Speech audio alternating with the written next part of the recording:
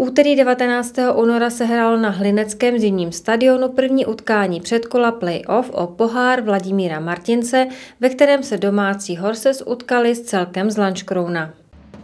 Domácí tým Horzis dlouho dotahoval soupeře, který přijel s kompletním připraveným týmem a oproti domácímu týmu dlouho hýřil aktivitou a nadšením. Zejména když se hned v úvodu dostal po hrubkách domácí do snadného vedení. Hlinečtí vyrovnali na stav 5-5 ve 39. minutě brankou Váchy a ve 49. minutě svou druhou brankou v utkání rozhodl Homola. Střelci branek z domácích byli Hron, Brázda, Králíček, Vácha, Homola překonal brankáře hostů dvakrát. Z Lančkronských překonal domácího brankáře Markl Čada, malý dvakrát a holu.